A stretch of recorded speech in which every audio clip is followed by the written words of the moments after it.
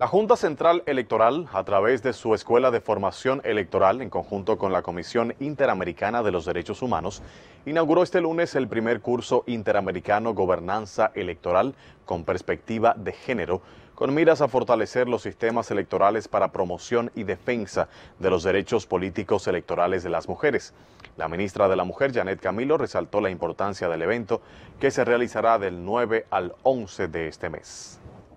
En este taller, en este curso de tres días, estamos trabajando con todas las mujeres de las Américas para darle herramienta a las mujeres que están en la política para que puedan seguir fortaleciendo su ejercicio político, para que puedan seguir democratizando la política y teniendo más fortaleza para que los partidos políticos puedan seguir conquistando espacios de poder. Aquí van a tener herramienta ante un derecho internacional que cada país tiene un procesal electoral, tiene procedimientos y procesos. Vamos a ver con buenas prácticas cómo cada mujer en América Latina, desde su propio contexto nacional, está haciendo historia, siendo valientes, atrevida en la participación política.